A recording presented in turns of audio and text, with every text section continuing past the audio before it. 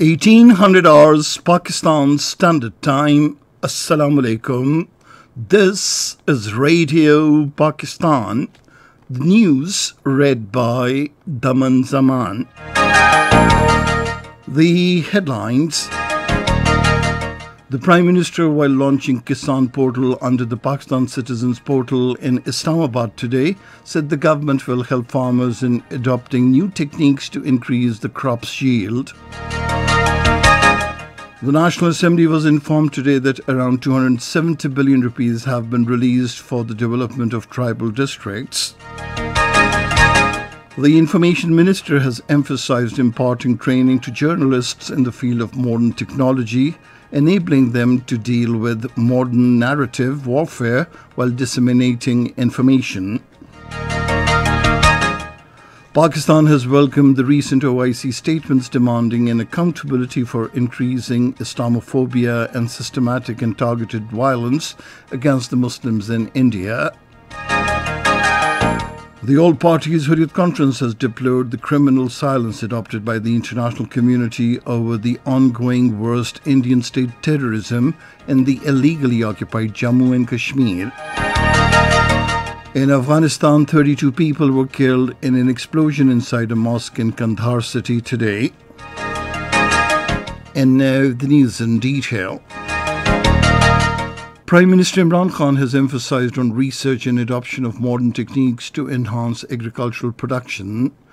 Addressing the launching ceremony of Kisan Portal for the farmers today under the Pakistan Citizens Portal, he said the government would help the farmers in adopting new techniques to increase the crop's yield.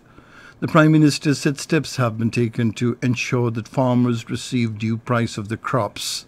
He said the government's initiative of Kisan Card would provide direct subsidy to small farmers. Imran Khan said the health card would also benefit the farmers in treatment of their ailing family members. Prime Minister Imran Khan says imparting vocational training to the youth is the government's priority and it is determined to provide all possible assistance to the small and medium enterprises.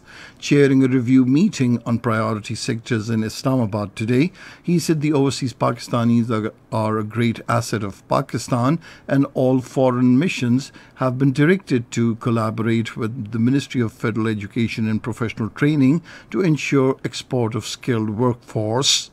The Prime Minister said a comprehensive strategy has been evolved to this effect for the first time in the history of Pakistan. The meeting was informed about making the administrative procedure easy for the overseas Pakistanis and small and medium enterprises, as well as the progress on various memoranda of understanding signed during the foreign visits of the Prime Minister. The President, Dr. Arif Alvi, has stressed the need of promoting technical education and information technology so as to fulfill the requirements of industrial sector and provide employment opportunities to the youth. The President expressed these views during a briefing on Sir Syed Center for Advanced Studies in Engineering and Technology in Islamabad today. The President said technological and industrial development is directly linked to the quality of education. He said the higher education institutions need to focus on research and development to put the country on the path of development. The National Assembly was informed today that around 270 billion rupees have been released for the development of the tribal districts.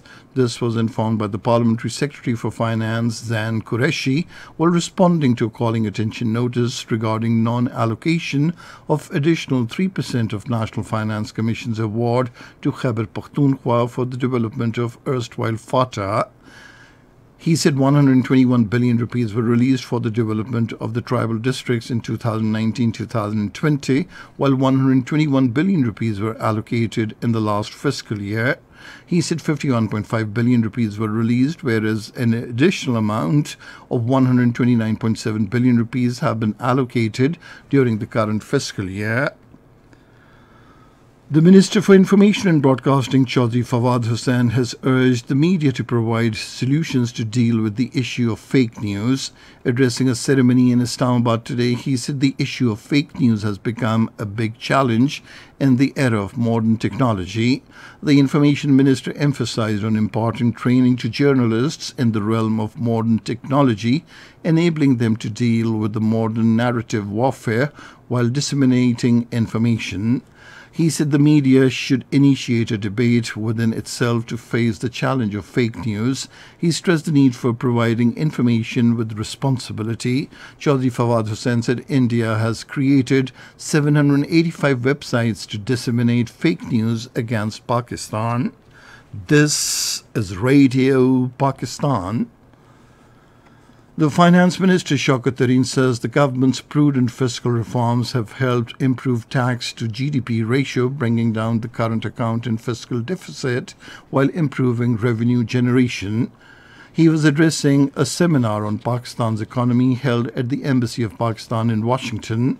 The minister emphasized that Prime Minister Imran Khan is committed to inclusive and sustainable economic growth that benefits all segments of the society, especially the poor.